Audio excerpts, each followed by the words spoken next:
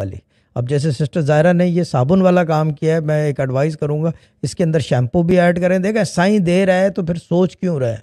Do it जो होगा देखा जाएगा। ठीक है ना? मैंने पूरी ज़िंदगी ऐसे गुजारी है, मेरे अब्बा ने पूरी लाइफ मसरूर भाई इस चीज़ के गवाह हैं। उन्होंने बगैर सोचे समझे सारे काम किए और उसी के अंदर कामयाबी हुई है। ये बात मुझे चार महीने पहले किसी ने कही कि जो काम आपने बगैर सोचे समझे किया, अल्लाह ताला ने उसमें कामयाब किया। मैंने कहा, वाकई सही बात है।